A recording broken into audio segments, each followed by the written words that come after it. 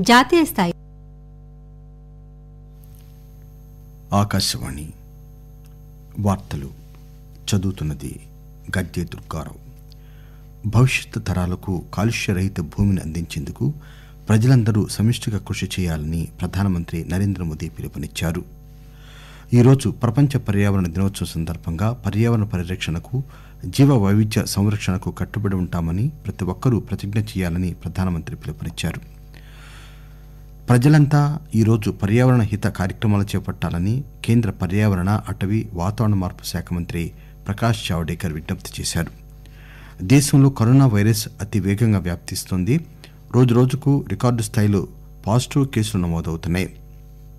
మహిళల జన్ధన్ బ్యాంకు ఖాతాల్లోకి ఈ రోజు నుంచి చివరి విడత ఐదు వందల రూపాయల నగదును జమ చేయనున్నట్లు ఆర్థిక శాఖ వెల్లడించింది. భారత్ చైనా మధ్య రేపు జరిగే ఉన్నత స్థాయి సైనికాధికారుల సమావేశంలో సైనికుల మధ్య ఘర్షణపైనే ప్రధానంగా చర్చించనున్నారు. భవిష్యత్తు తరాలకు కాలుష్య రహిత భూమిని అందించేందుకు ప్రజలందరూ సమిష్టిగా కృషి చేయాలని ప్రధానమంత్రి నరేంద్ర మోదీ పిలుపునిచ్చారు. ఈరోజు ప్రపంచ పర్యావరణ దినోత్సవం సందర్భంగా పర్యావరణ పరిరక్షణకు జీవ వైవిధ్య సంరక్షణకు కట్టుబడి ఉంటామని ప్రతి ఒక్కరూ ప్రతిజ్ఞ చేయాలని ప్రధానమంత్రి పిలుపునిచ్చారు. భవిష్యత్తు తరాలకు ఒక స్వచ్ఛమైన భూగ్రహాన్ని అందించేందుకు అందరూ సమిష్టిగా కృషి చేయాల్సిన అవసరం ఉందని ఆయన ట్వీట్ చేశారు. ఈ ప్రపంచ పర్యావరణ దినోత్సవం నాడు భూగ్రహంలోని గొప్ప జీవ వైవిధ్యాన్ని పరిరక్షించాలన్న మన ప్రతిజ్ఞను పునరుద్ఘాటిస్తున్నాం అని అన్నారు. జాలాన్ని వృద్ధి చేయడానికి మనందరం సాధ్యమైనంత వరకు జంతుజాలాన్ని వృద్ధి చేయడానికి సమిష్టిగా కృషి చేద్దాం అని మోదీ పేర్కొన్నారు. గత ఆదివారం మన్ కీ బాత్ కార్యక్రమంలో ప్రపంచ పర్యావరణ దినోత్సవాన్ని గురించి ప్రస్తావించిన ఒక సంక్షిప్త వీడియోను కూడా ప్రధానమంత్రి ట్విట్టర్ వేదికగా పంచుకున్నారు. ప్రకృతి పరిరక్షణకు మానవ జీవితంలో ప్రతి సమస్యకు సుస్థిర పరిష్కారాలు అన్వేషించాలని ఉపరాష్టపతి వెంకయ్యనాయుడు ప్రజలు ప్రభుత్వాలు ఇతర సంబంధిత వర్గాలకు పిలుపునిచ్చారు.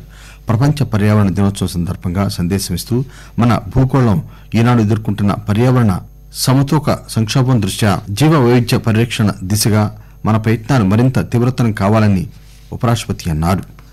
పర్యావరణ అటవీ వాతావరణ మార్పు శాఖ మంత్రి ప్రకాష్ జావడేకర్ తమ సందేశంలో ప్రజలంతా ఈరోజు పర్యావరణ హిత కార్యక్రమాలు చేపట్టాలని పిలుపునిచ్చారు. దేశంలో కరోనా వైరస్ అతి వేగంగా వ్యాప్తి చెందుతోంది. రోజురోజుకు రికార్డు స్థాయిలో పాజిటివ్ కేసులు నమోదవుతున్నాయి. భారత్లో కరోనా వైరస్ బయటపడిన తర్వాత మొట్టమొదటిసారిగా ఇరవై నాలుగు గంటల్లో తొమ్మిది వేల ఎనిమిది వందల యాభై ఒక్క పాజిటివ్ కేసులు నమోదయ్యాయి. దీంతో కోవిడ్ నైన్టీన్ బారిన పడ్డ వారి సంఖ్య రెండు లక్షల ఇరవై ఆరు వేల ఏడు వందల డెబ్బైకి చేరిందని కేంద్ర ఆరోగ్య కుటుంబ సంక్షేమ శాఖ తెలిపింది. మరోవైపు మరణాల సంఖ్య కూడా గణనీయంగా పెరుగుతోంది. గడిచిన ఇరవై నాలుగు గంటల్లో అత్యధికంగా రెండు వందల డెబ్బై మూడు మంది కరోనా రోగులు ప్రాణాలు కోల్పోయారు. దీంతో దేశంలో ఇప్పటివరకు కోవిడ్ సోకి ప్రాణాలు కోల్పోయిన వారి సంఖ్య ఆరు వేల మూడు వందల నలభై ఎనిమిదికి చేరింది. కరోనా వైరస్ సోకిన వారిలో ఇప్పటివరకు లక్ష తొమ్మిది వేల నాలుగు వందల అరవై రెండు మంది కోలుకోగా మరో లక్ష పదివేల తొమ్మిది వందల అరవై మంది చికిత్స పొందుతున్నారు. ప్రపంచంలో కోవిడ్ నైన్టీన్ కేసులు అధికంగా నమోదవుతున్న దేశాల జాబితాలో భారత్ ఏడవ స్థానంలో ఉంది. వచ్చే వారం నుంచి దేశవ్యాప్తంగా ఆలయాలు షాపింగ్ మాల్స్ రెస్టారెంట్లు తెరుచుకోనున్న నేపథ్యంలో వాటి నిర్వహణకు సంబంధించి ప్రామాణిక విధానాలను కేంద్ర వైద్య ఆరోగ్య శాఖ విడుదల చేసింది. కరోనా లక్షణాలు లేని వారిని మాత్రమే ఈ ప్రదేశాలకు అనుమతించాలని స్పష్టం చేసింది. భౌతిక దూరం తప్పనిసరిగా ఉండేలా శానిటైజర్లతో శుభ్రం పాటించేలా చూడాలని త్రాగునీరు హ్యాండ్ వాషింగ్ వంటి సదుపాయాలపై ప్రత్యేక దృష్టి సారించాలని ఈ ప్రదేశాల్లో సాధారణంగా అందరూ తాకే వస్తువులను తరచూ శుభ్రం చేయాలని పేర్కొంది. ఆరోగ్య సేతు యాప్ అందరూ వినియోగించేలా చూడాలని తెలిపింది. ఏసీల ఉష్ణోగ్రత ఇరవై నాలుగు నుంచి ముప్పై మధ్యన ఉండాలని స్పష్టం చేసింది. మహిళల జన్ధన్ బ్యాంకు ఖాతాల్లోకి ఈ రోజు నుంచి చివరి విడత. ఐదు వందల రూపాయల నగదును జమ చేయనున్నట్లు ఆర్థిక శాఖ వెల్లడించింది.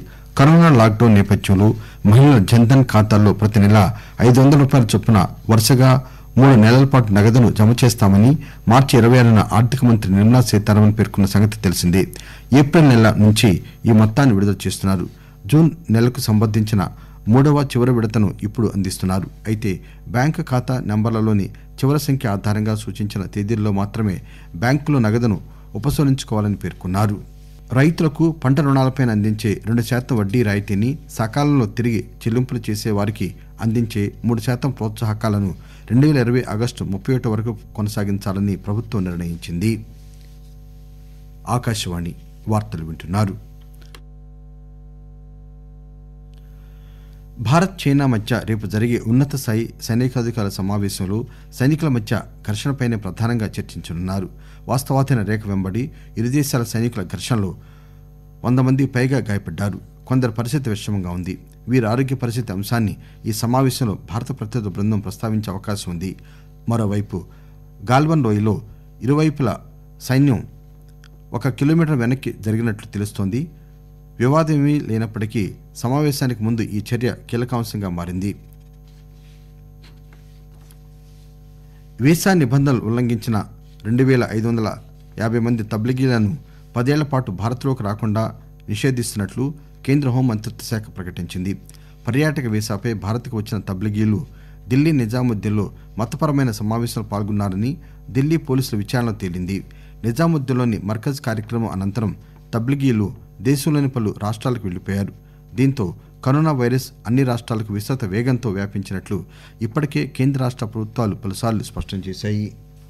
వాషింగ్టన్లోని భారత రాయబారి కార్యాలయం వెలుపల భారత జాతిపిత మహాత్మాగాంధీ విగ్రహంపై దుండగులు జరిపిన దుశ్చర్య విషయంలో భారత్కు అమెరికా క్షమాపణ చెప్పింది. జరిగిన ఘటన తీవ్ర విచారకరమని భారత్లో అమెరికా రాయబారి కెన్ జెస్టర్ ట్వీట్ చేశారు.